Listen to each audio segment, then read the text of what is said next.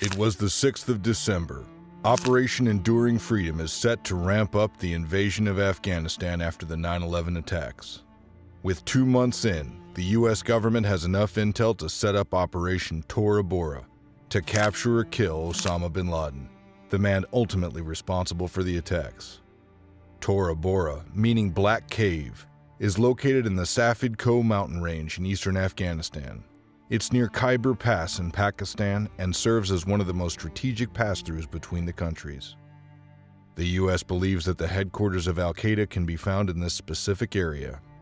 All the reason to send in Delta Force and smoke bin Laden out of his cave. Welcome to the Spy Network.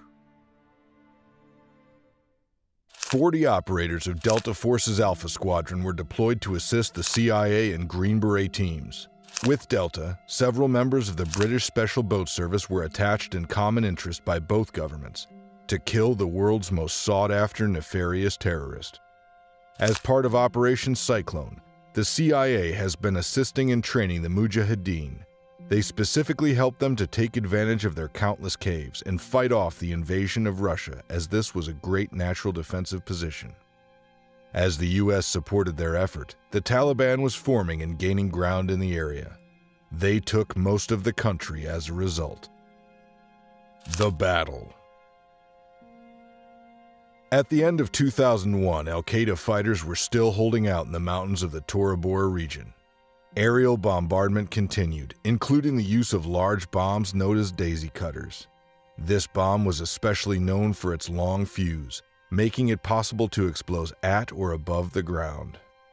On December 3, 2001, a group of 20 CIA Special Activities Division operators and 5th Special Forces Group formed ODA 572, codenamed Jawbreaker. They were deployed by helicopter in Jalalabad, Afghanistan, to launch an operation against them.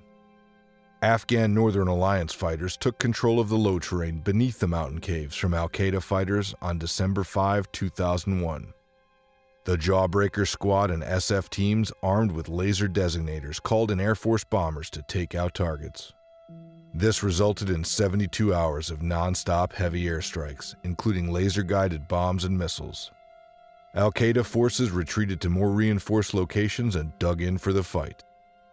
A week later, a total of 70 Special Forces operatives from the Army Delta Forces A Squadron and the Air Force Special Tactics Squadron arrived by vehicle overland to assist the bombing operation with ground forces. As a part of their team, they had 12 battle hardened Special Boat Service operators and at least one operative from MI6. These operatives would be drafted into small teams, mainly carrying out signals intelligence to reveal the fighters' positions to later conduct airstrikes. However, during the night, Al Qaeda members would light campfires revealing their precise location and assisting laser designated targeting for air launched missiles, which would eliminate them instantly. It was the 16th of December that a Delta Recon team, call sign Jackal, spotted a tall man wearing a camouflage jacket. The operation was ongoing for several days now, and they were certain bin Laden had been located. The operators were near his suspected location when they noticed a group of fighters enter the cave, led by a taller figure dressed in flowing white robes. This was bin Laden's usual appearance. Although this was not the best intel, they worked with what they had. When an ally warlord ordered a halt, he stated that Al Qaeda fighters nearby were attempting to surrender and that he was discussing terms. When the Delta operators attempted to press ahead, their Afghan advisors turned their firearms on them, indicating that the warlord was stalling to allow bin Laden to flee. Six bombs were dropped on the cave entrance during an hour long standoff. Bin Laden was believed to have been wounded but not killed. Later DNA tests confirmed that his body had not been part of the fighters that were found. Later intelligence had confirmed that bin Laden had escaped into Pakistan, the very thing they wanted to prevent from the start. Politics, logistics, troop placement, and the time appointed to carry out the mission were detrimental to this operation, ultimately resulting in bin Laden getting away. But how? Lessons learned. Well, not enough troops and not enough aircraft were two of the reasons. Looking at the map of Tora Bora, you might understand the challenge they faced. Most of the aircraft could not safely operate on and in the altitudes that the SF operators had to deal with, and the harsh terrain posed a significant challenge for them. Not being native and local to the area also didn't help. Their enemies were local and had an advantage over the operators. Most of the time, they were severely outnumbered too, as Al Qaeda forces grew to well over a thousand fighters. By December of 2001, there were 1,500 troops in Afghanistan, but most of them were scattered throughout the country and having different focus areas.